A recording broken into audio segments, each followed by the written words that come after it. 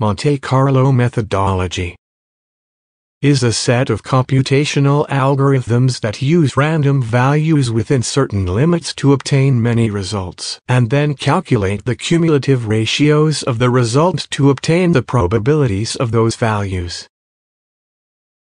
Through the Excel program, the concept can be clarified through the random equation, which randomly chooses values ranging from 0 to 1 that express the probability of occurrence from 0% to 100%.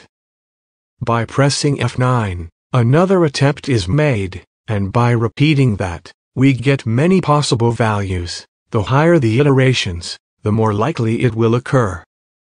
To finally predict the probability of certain values occurring,